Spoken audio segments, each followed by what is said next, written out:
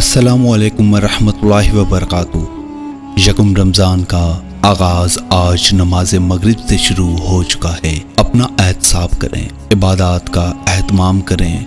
रहमतों, बख्शिशों और मगफिरतों वाले इस महीने से फ़ायदा उठाएँ। उम्मत की खैर खाई की तलब करें, अपना तजकिया करें सदका तो खैरात करें। अपने दस्तरखान में से गरबा व मसाकिन का हिस्सा निकालें। दुखी इंसानियत का सहारा बने। इशारो मोहब्बत हमदर्दी और भाईचारे को फरोग कर दें। अल्लाह पाक हमारे लिए इस बाबरकत महीने को अमन सलामती और रहमत और बख्शिश का ज़रिया बना लें। आमीन।